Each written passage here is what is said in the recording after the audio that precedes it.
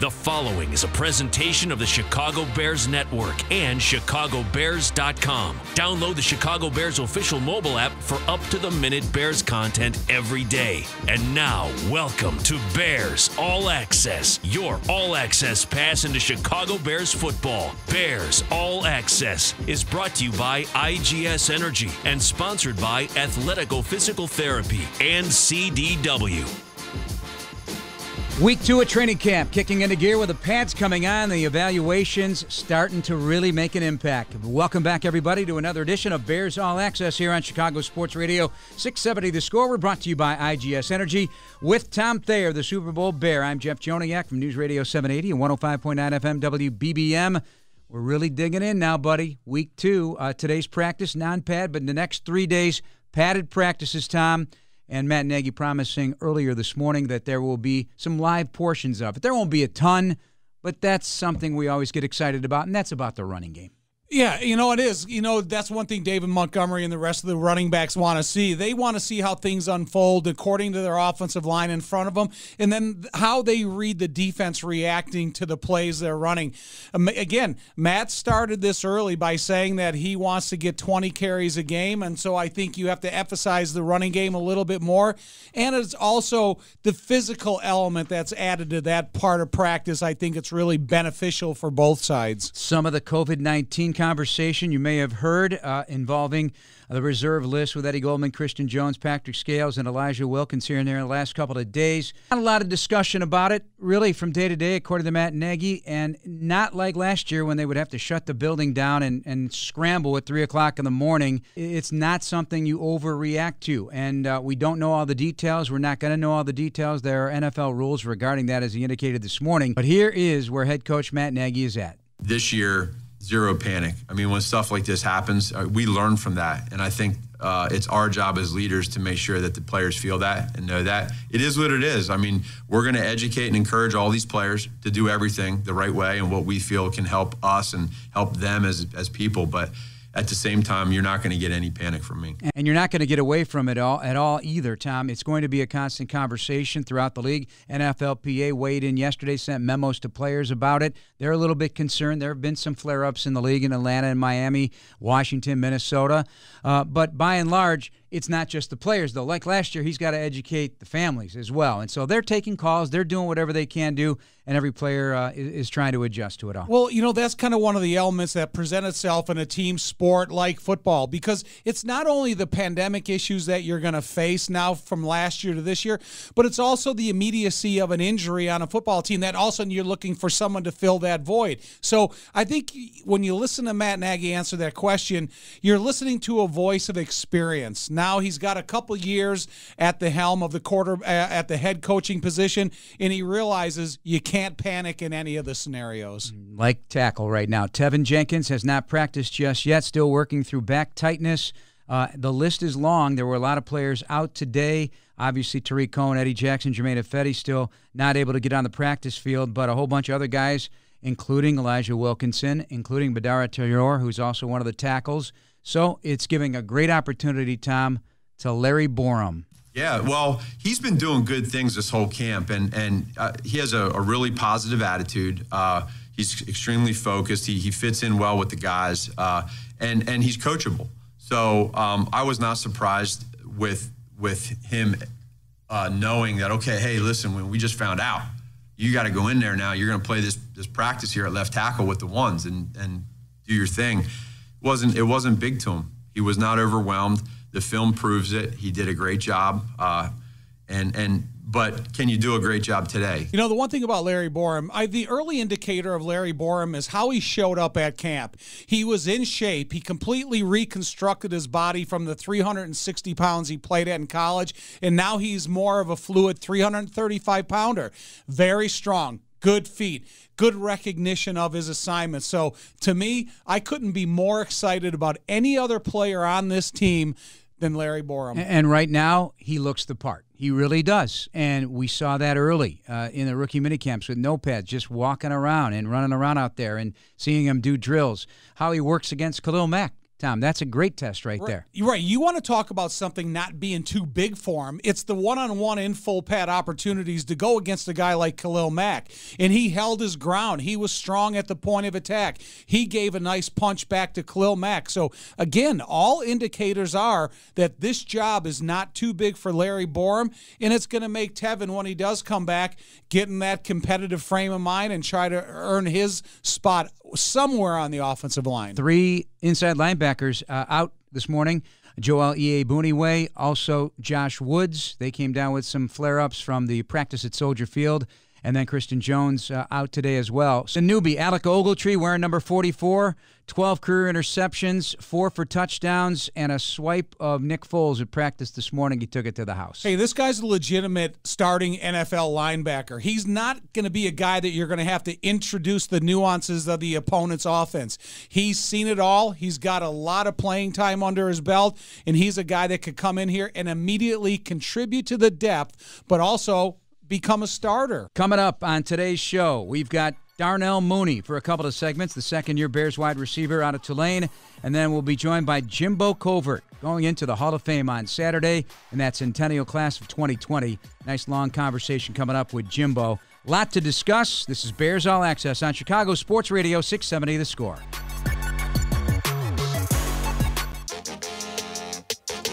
The Chicago Bears, one of the teams in the Chicago Sports Alliance, are supporting Ready Chicago's gun violence reduction efforts. Learn more at heartlandalliance.org slash ready. Jeff Joniak, Tom Thayer, back with you on Bears All Access. Pleased to be joined and pleased to finally meet him in person. Second-year wide receiver Darnell Mooney.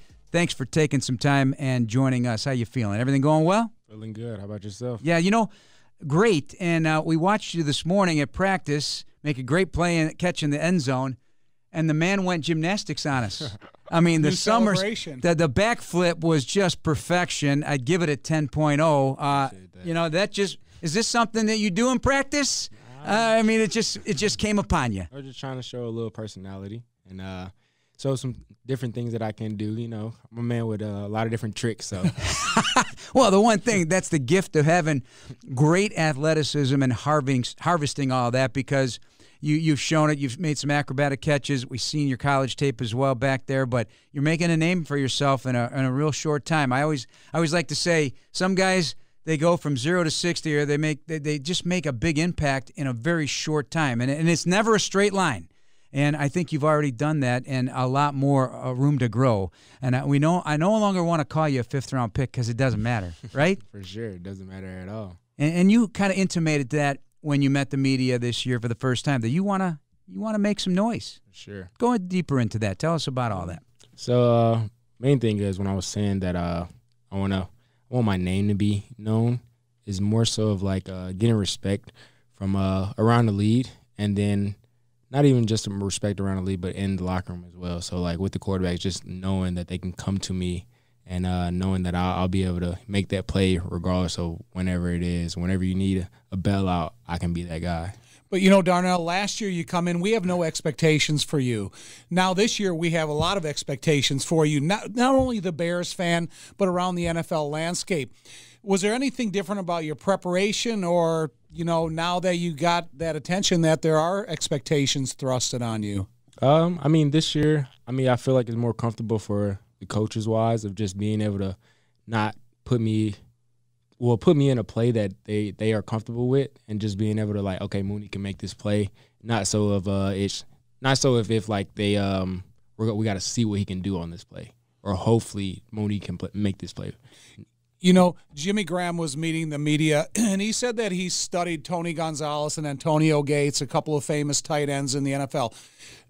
Does your do you transfer thinking, okay, I, I feel like I play like this guy or I have skills of this person?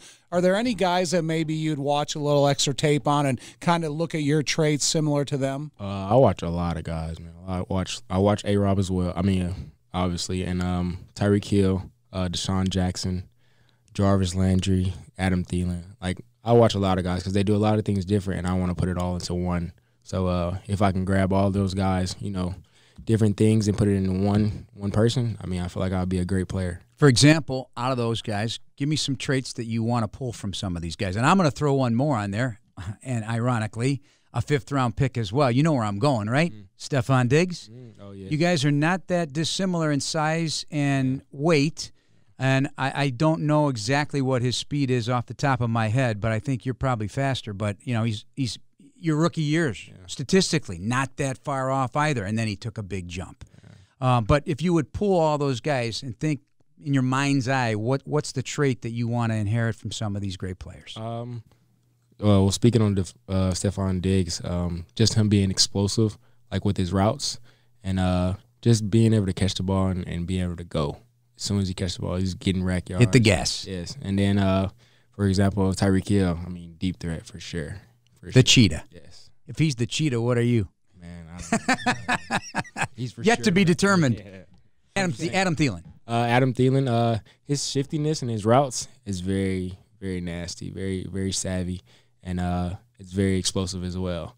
And I think him and um, well, watching some old film with him and Stefon Diggs together, I can watch Diggs one, one at the same time. Yep. I can watch Diggs one route and then rewind it back and then go to Adam Thielen. When is the route one? Uh, when is it one? Yeah. Uh, I mean, more so, it depends on the route. It depends on the lot route. The line of scrimmage for sure, and then at the top of the route. So you can have you can be losing mid route, but as long as you give them give them something, give them some swag to it, you'll be able to win it. And I do feel, and I think you'd agree. And we go back to the Rams game against Jalen Ramsey. I know that's always a, a big internet sensation, but you smoked them. But it's the top of the route. Yeah, it's sure. the top of the route. You feel that is your ace in the hole right now. For sure, for sure. I mean, um, I've been working on it with uh Allen a lot, just making sure I'm I'm pacing myself, not rushing myself. Regardless if I'm if I lose at the beginning, I can always win at the end. So. You know, last year we kind of came became obsessed with you talking about the route tree. And so when you talk about the route tree at this part of your career, early in your career, is it something that you have to discuss that with the quarterbacks? Andy Dalton's a new guy on the scene. Justin's a different quarterback than Andy, and you have experience with Nick. So is it something when you talk about route tree, it's something you have to have a conversation with the quarterback? For sure. Uh, just because some routes I may get out of my break faster than other guys. So, um, and I might give a little more at the top of the routes than other guys. Like I, I want to be as because people people understand that I'm fast and they want to ba- bail out of there, but sometimes they know that I'm I'm going to break by just uh, understanding the play and like the alignment of where I am. So I have to tell them like, yo, sit back on your back foot a little bit for me because I might I might have to give them a little something at the top. So when you talk about the top of the route and you have a quarterback that has the skills of Andy Dalton, then you have a quarterback that has the skills of Justin Fields. Is the top of the route different for a quarterback that runs as well as Justin as opposed to a quarterback that's experienced as Andy Dalton? Um, I'm not. I'm not sure with the with the understanding of a quarterback throwing wise. I just understand the. Well, Justin can extend the play a little bit longer because Oh, he does okay. have the Okay. the traits and the Yeah, four yeah. four speed and everything that's talked about. Yeah, I mean, uh, well, getting out the pocket wise, yes. I mean, I feel like watching watching practice wise in the two minute drill the other day, Justin went absolutely crazy. It was amazing to watch, and uh, just watching him move around and uh, get out the pot- pocket, extending the plays. It was uh, amazing to watch. And then Andy as well, um, just the way he was controlling everybody, getting people in the right spots, and putting the ball on you, and uh, letting us all know what's going on. Yeah, because uh, as we talk with Darnell Mooney here on Chicago Sports Radio 670 The Score, this is Bears All Access brought to you by IGS Energy with Tom Thayer, Jeff Joniak, because the ball is going to be there on, on your cut. Uh, but we were talking today, Tom and I, just watch with, from our perspective because we don't always get to be in the right place to see practice. Just you could feel Matt Matt Nagy always uses you can f- you feel it right. You can feel the heat coming off his missile. I mean, that arm strength is pretty sharp. So, do you have to be ready for it in both cases? One, because it's going to be there on time with Andy, but this other guy, it's also going to be there because he's got some mustard on it. Sure, for sure. You have to, you definitely have to know who's back there for sure. Uh, and uh, you have to definitely get on the jug machines if you're catching the ball from Justin, because uh, nobody's throwing the ball that hard unless it's the a jug machine. And no one knows better than this man right here, Darnell Mooney, because one of his first purchases last year was that very thing Yes, a jugs machine.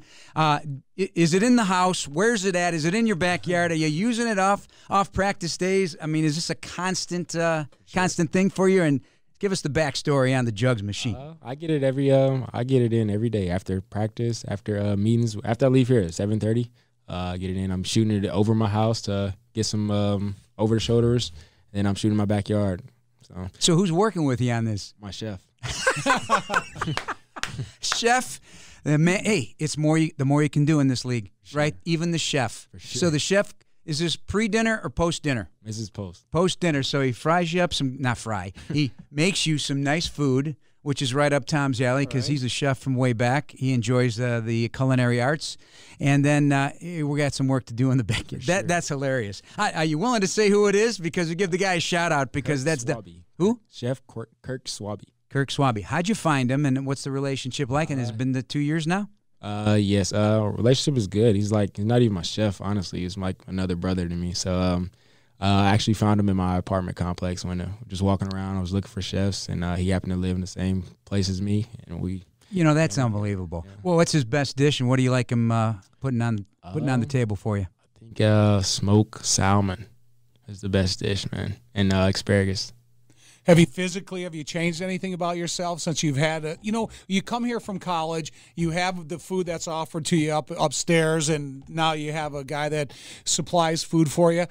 Have you changed anything about your body since you got into the NFL? Uh, well, when I got in, I was eating way better. I was uh, in college. It was nothing but chicken wings, you know, fried food, and then uh, com- uh, training for the combine. I was I was eating very healthy, and then now if I eat anything fried, it messes my stomach up bad. So I just eat everything clean and uh, just take care of the body as much as I can. Lean mass.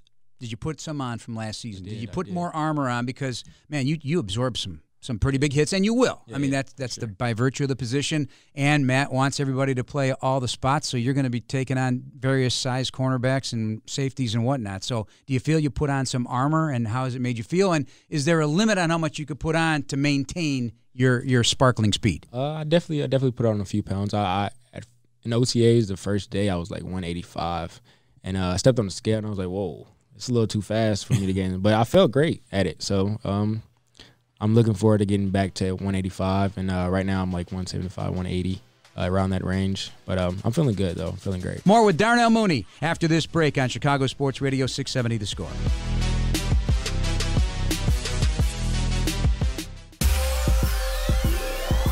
This segment of Bears All Access is brought to you by Athletico Physical Therapy. Visit athletico.com to request an appointment in clinic or virtually and start feeling better tomorrow. With Jeff Joniak, Tom Thayer, Darnell Mooney. Tom, you got the floor. Right. So your junior and senior year in college, you had 48 catches each year, and last year you had 61 catches.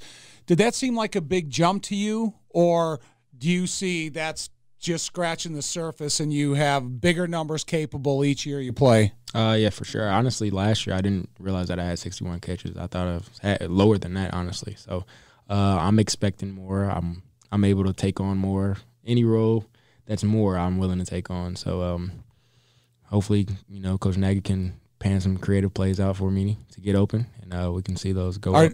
Have you developed a relationship with either receivers coach or Coach Nagy that maybe you have a suggested route or a play from your past that you know that the success rate is high for you? Uh, I mean, some of the offense that we have ran in uh, college was from the Bears, so I've been running some of the same plays anyway. So I don't really have to say too much. Uh, I'm comfortable with everything that we call. Uh, just that's probably why I got a, a good pickup on the uh, playbook last year. Are are you a fan of the game? Or me, I'm kind of obsessed with it after playing, and even while I was playing, I would watch tape. I would watch the games when they're on TV, and you kind of pick up little things. Are you that type of a fan? For sure, for sure. Like uh, I'll be watching with uh, the family, and they'll be like, "Who you who you who you rooting for?" And I'm like, um, "I'm really just watching." And uh, I like to play out uh, strategies throughout the game. Like, what do they have to do here? Do they have to score early here? Do they have to hold the ball a little bit more? I just like to pan out strategies of the game. Are you playing Madden? Uh, for sure. Yes, yeah. You know, we're old. So we have you ever played a video game in your life? I mean, Pinball. That back in the day, yeah. I mean, I know, but you know, all, all the kids, uh, my daughters certainly do. But um, so you, it, it's interesting because I've never played it, and I would get my rear end kicked by any young man playing that game.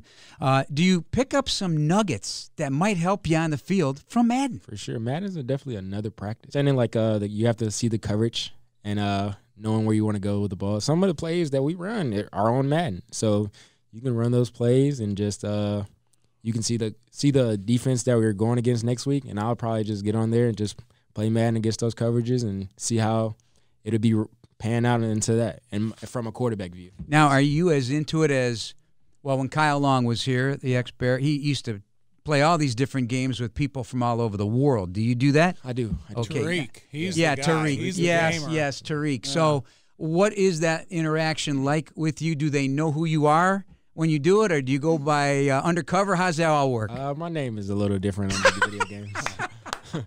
Care to share that one? But you know when you, when you go and you play a game like Madden and you can pick up different things if you're watching tape. but then when you have the human side of it out on the field, can you read a defensive back like going, okay, I know this guy's not confident in this type of move or this type of pre-snap movement and stuff. Yeah. You, can you read these guys now? For sure, for sure. The leverage tells it all. And then uh, just honestly getting in the film room and understanding what guys like to do and uh, reading what type of guys like um, are not comfortable doing. So if guys are, are not comfortable like, you know, sitting back so far from, from a blitz and they like to get over it and then it's capped, then um, you can just tell who who's not comfortable with what they're doing. Darnell Mooney, our guest here on Bears All Access on Chicago Sports Radio 670 The Score with Tom Thayer, Jeff Joniak. So I'm going to go back to the, the catch number. You said were surprising. Would it surprise you to know you had 98 targets? No, I did not. You did not know that. So between you and A Rob, as I just fired up my computer, he's had 150 plus the last two years, and that's right at the top of the shelf in the National Football League for a targeted receiver. So between the two of you, basically 250 targets last year. And I'm assuming that's going to continue in that vein, although you do have complementary speed with veterans that likely are going to make this roster and be impact players like Marquise Goodwin, uh, Damiere Byrd, and obviously Dazz Newsome coming off injury. There's opportunities here. Javon Wims, lots of different opportunities to. Will, will that benefit you guys if you're not needed to be targeted that often? Spread the wealth a little bit. Will that open up the field for you and A Rob? For sure, for sure. Marquise is already telling me the other day that I can catch one ball and it's over for for me for the rest of the season. They're going to respect it for the rest of the season. So just understanding that, uh, just just the room in general, everybody's for each other. So um, I definitely think it will open up for everybody. All right, blocking or jet sweeps. What's more, what is the more physical element? Because if you don't block, you can't play in the NFL, and you do block, but you also run a lot of sweeps. So when you look at a, getting a ball at the line of scrimmage, where you're the ball carrier, or downfield, where you have to make a block that's instrum- instrumental in the success of a play, what at what physical part of it do you do you like the most? Uh, I'll take on I'll take on the uh, the blocking. I'll take on the blocking. The jet suits are light because I can run past the you know the big heavier guys. I don't have to worry about too too much of them. But uh, I mean if I can you know get a good block in, uh, it'll it'll get me ready for the rest of the game early on. So All right, we're going to let you go. Uh, one final question. Um, you know, your late father worked at GM. Your mom worked for Goodyear down in Gadsden, Alabama. So, are you into cars uh, no, because of all that? not no. What, what what what other hobby-ish type things? Uh, I like music and uh, I like rooftops. Rooftops. Tops.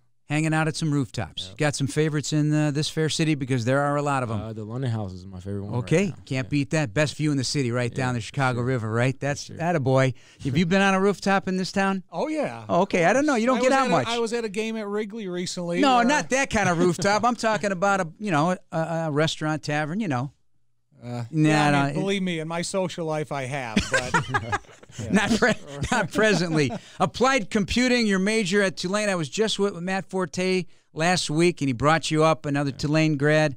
And uh, Matt, his degree was finance, and he's had a great post career because of it, doing all sorts of things. And uh, no matter what, when uh, your football career ends ten or fifteen years from now. You got other things to fall back on, don't you? And that, that was the value of that education. For sure, for sure. My main goal is uh, be successful fifty percent each way. I know football isn't fifty percent. I mean NFL isn't fifty percent, but uh, Tulane has a powerhouse name, so I was hopefully whenever I can get a job somewhere, the resume would say Tulane, and it would be like, okay, we can just go ahead and give him the job. And then if I go to the NFL, was a, it was a plus. So Absolutely. Well, we wish you nothing but the best this year. Great to finally meet you face to face and have a great season. Thank, thank you, thank you. Darnell Mooney, our guest here on Bears All Access. Coming up, Jimbo Covert, the Bears Hall of Famer, going into the Hall of Fame this weekend. Great news and great conversation ahead. This is Bears All Access on Chicago Sports Radio 670 The Score.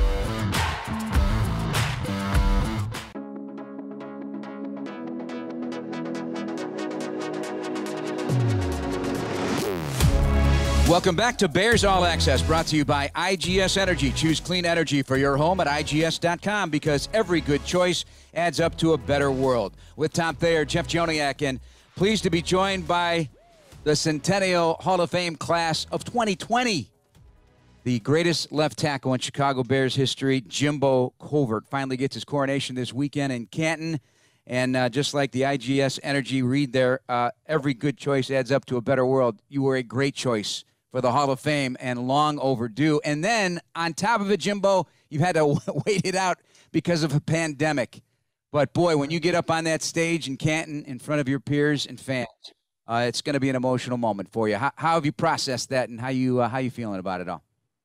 Yeah, it's definitely going to be an emotional moment for. I, I just think that it's that it's been a while, and and um, you know, uh, obviously with everything that's gone on in the world and the pandemic and everything, it, was the right decision to make to not get all those people together. And now uh, getting all those people together and still having some difficulties is, it, it, I think it's a difficult thing right now for everybody. But, you know, I think for people that are vaccinated and people that feel comfortable going there, I think it's going to be one heck of a good time. So it's a little, uh, uh, I, think, I think waiting that long just makes it that much sweeter. And um, it's going to, you know, really, you know, looking forward to spending time with all my family and friends and teammates, and uh, it's going to be a good time.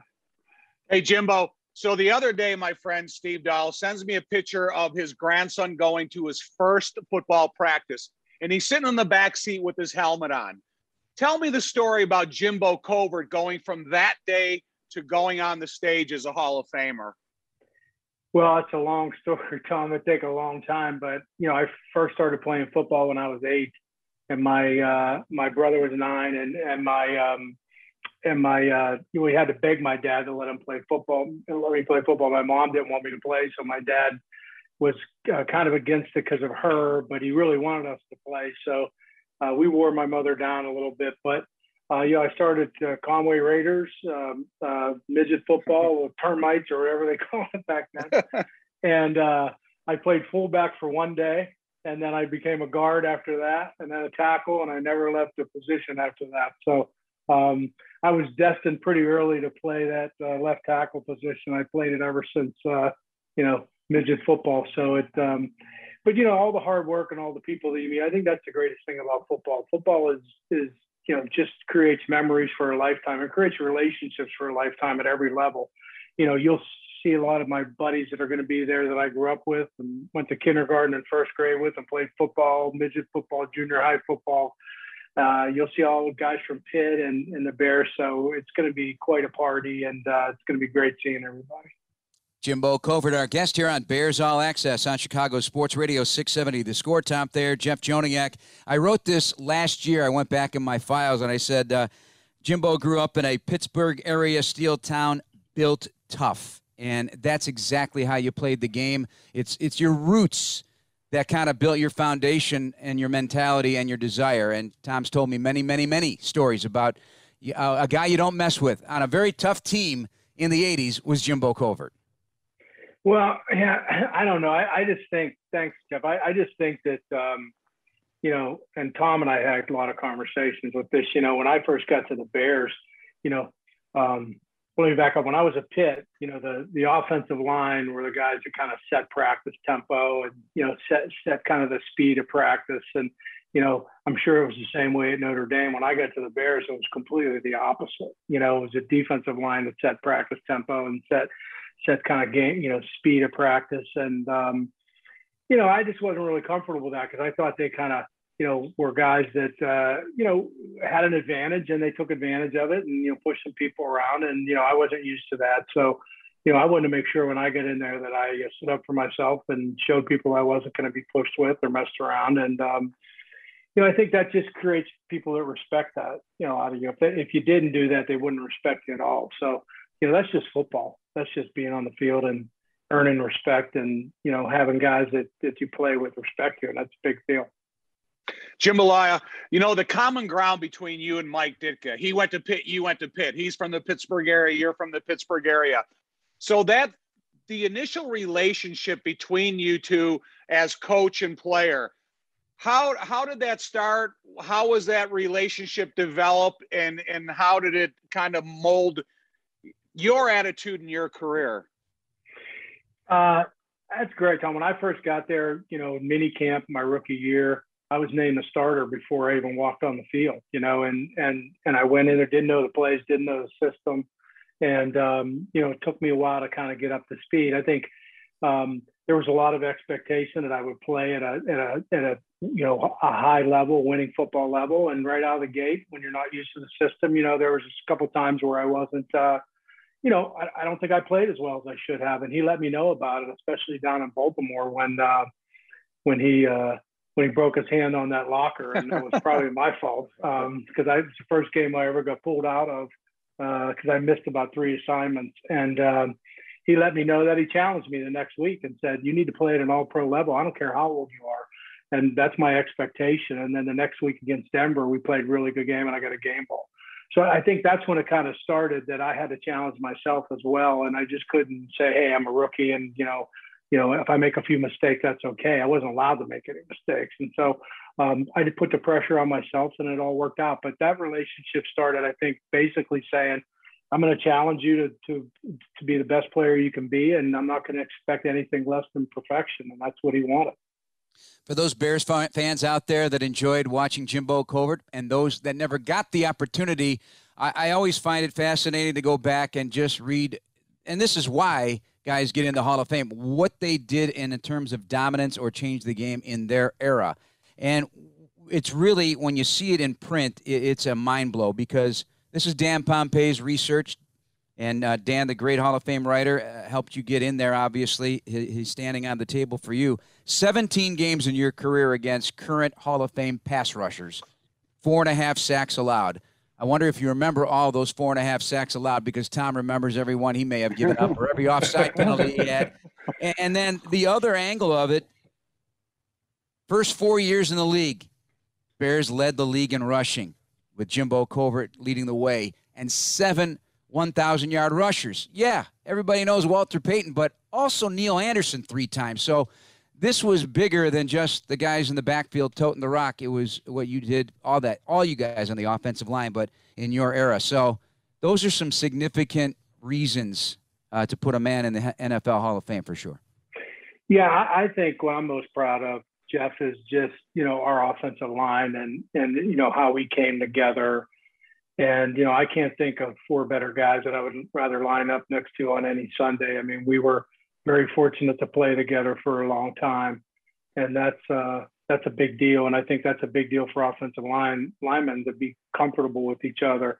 So, you know, we were, and, um, you know, what I'm most proud about is, is that, you know, setting a record like that, you know, really kind of went unnoticed for a long time. And it was really unfortunate because, um, if you can lead the league in rushing four years in a row, I mean, it only happened one other time, and I think that was in the 40s from the Bears in the 40s. And so, um, and you think about guys, you know, teams that have Hall of Fame offensive linemen, right? Um, that have several Hall of Fame offensive linemen. Um, that uh, in that era, their teams never led the league in rushing. And so when you think about that, you know, how does that go unnoticed all those years? And I think it was basically because you had we had such a great defense and uh, and I think a lot of that was kind of attributed to Walter Payton, and, and rightly so. But but you have to have an offensive line that's out there blocking for him, right? And uh, I think finally to get that recognition, finally after all these years, it was kind of surprising to me that it didn't get recognized earlier on. Jambalaya, you know, your college roommate Dan Marino says you're the best left tackle he's ever played with, and for, former Hall of or Hall of Famer Richard Dent says you're the best left tackle he's ever played against. That's hmm. pretty high praise for for you and for the compliments of two Hall of Famers. What's that mean to you that after all these years that your your name is still at the forefront of both of these guys' career? Well, Danny, you know, I just um, we played together for three years, and I protected his blind side, and uh, you know, he always says that uh, that uh, he made me a better left tackle because he got rid of the ball fast.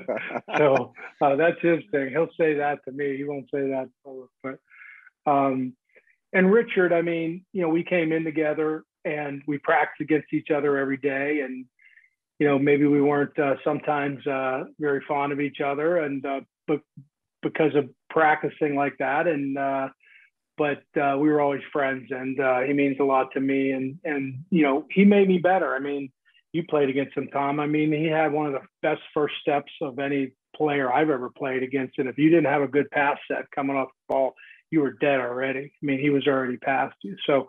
Um, and, and playing against our offensive line, I mean, we weren't, I mean, our defensive line, we were never going to play against anybody on Sunday that was any better. I mean, you had Steve McMichael, who I think should be in the Hall of Fame, Dan Hampton is a Hall of Famer, Richard Dent, you know, the Fridge, you know, Mike Hartenstine. I mean, these guys were players now. I mean, they they were some of the greatest players of all time. So, you know, who are we going to play on Sunday in a scheme that was going to be better than those guys? So our practices were more intense than the games. Here on Bears All Access on Chicago Sports Radio 670 The Score. Our special guest, Hall of Famer Jimbo Covert, the Bears left tackle with Tom Thayer, Jeff Joniak. So NFL Lineman of the Year in 85, 110 games in a career, slugging it out in the trenches, four all-pro seasons, and uh, one of the uh, premier players in Bears history, regardless of position. Uh, a lot of accolades. So when you had to put pen to paper, and now I don't know how many times you may have re- rewritten it, or have you written it? Are you going to speak off the cuff? What's your plan? for Canton this weekend on your acceptance speech? Uh, there will be no speaking off the cuff because they got, they got the they got the they got the chain on us out there. Oh so, yeah, that's right. How many minutes? They, how many minutes? How many minutes they giving you now? Eight. Six, six minutes. Six. Now, how so can you capture your life in six minutes? Well, they made sure of that. So I uh, had to submit it, and then they wanted you to work with a uh, speech uh, coach who was great, and wow. kind of move some things around. And then, um, you know, I timed it and I said it was under six minutes and she timed it and said it was over eight minutes. So um, then I added some things. Uh-huh. She had, took some things out. So then she had me read it in front of her on Zoom and timed it.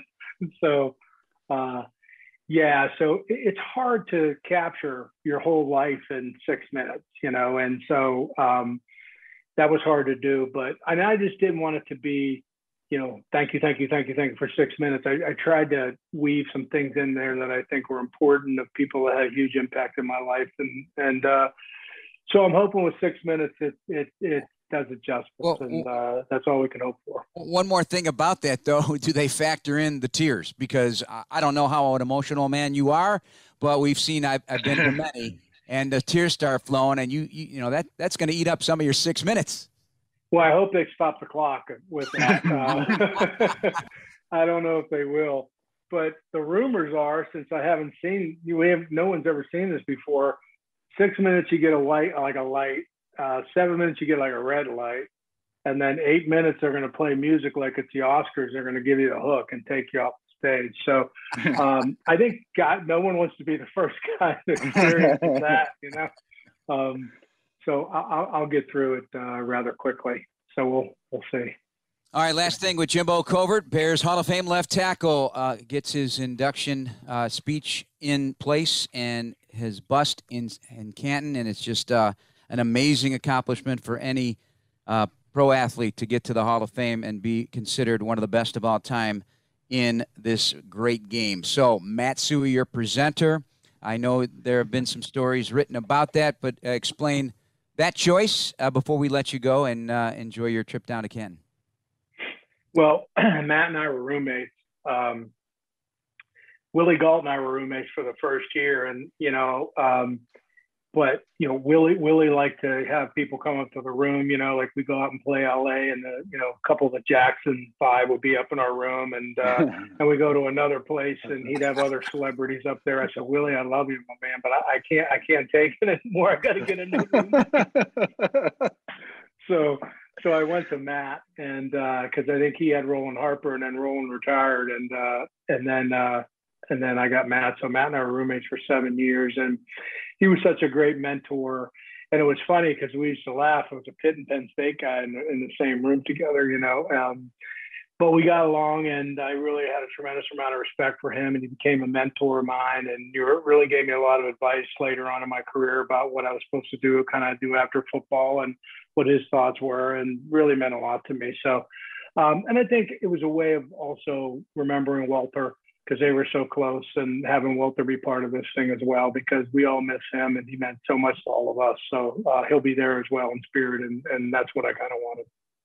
Well, Jimbo, uh, we really appreciate you taking the time and a busy week for you. Uh, congratulations again. Enjoy the entire process, this once in a lifetime moment with you, your friends, your family, and teammates. And uh, couldn't think of a, a, better man to be representing the Chicago Bears in the National Football League in the Pro Football Hall of Fame. Uh, numbers 29 and 30, Ed Sprinkle, a 40s and 50s era Bear defensive lineman, also inducted this weekend as well. Jimbo, congrats, buddy. Thank you, Jeff. Thank you, Tommy. Thank you, Jimbo. Take care. Yep. See you. See you, you, see you buddy. More of Bears All Access coming up after this break on Chicago Sports Radio 670 The Score.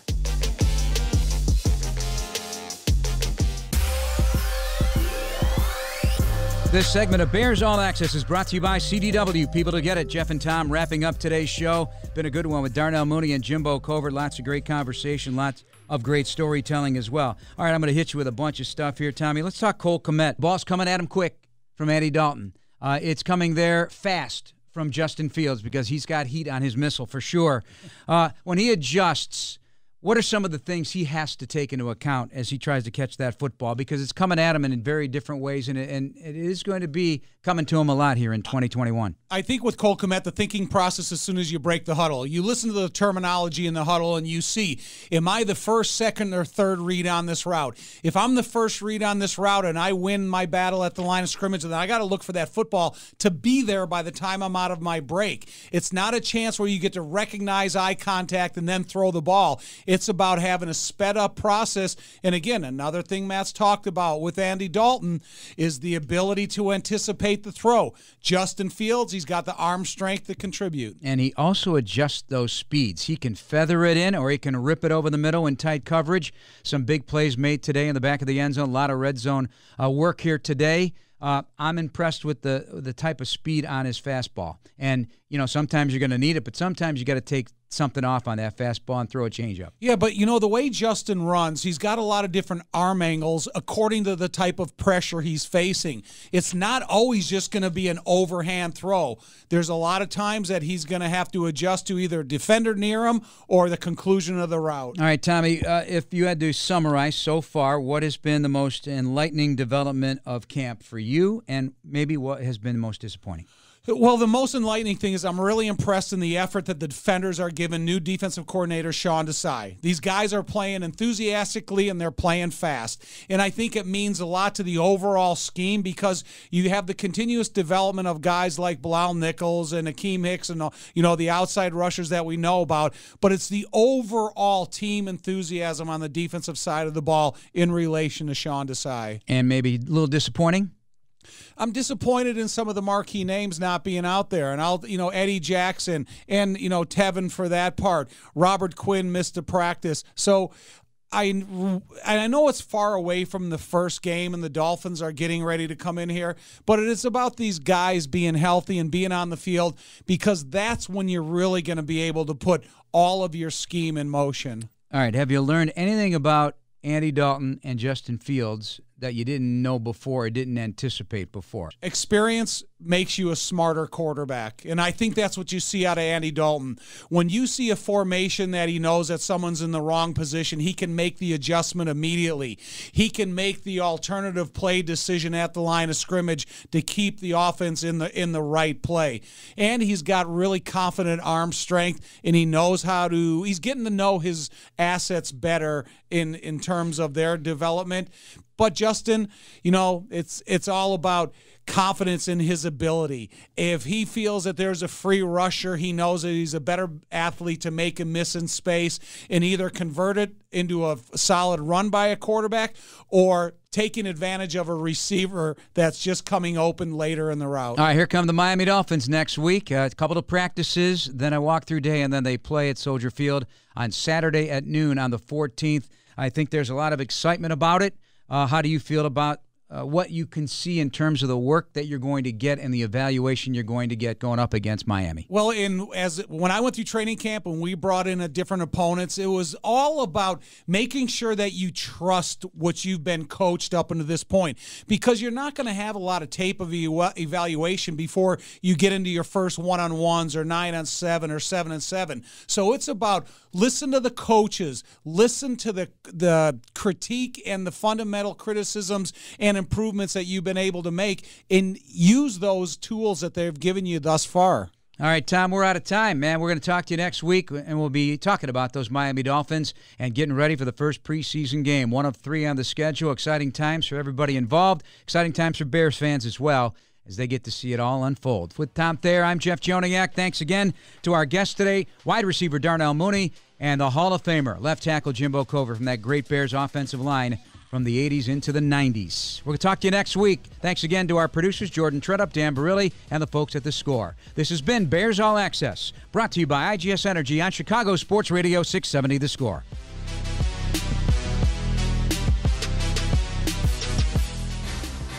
Thanks for listening to this Chicago Bears Network presentation of Bears All Access. Podcasts are available on chicagobears.com and on iTunes, or download the official Bears mobile app. Bears All Access has been brought to you by IGS Energy and sponsored by Miller Lite.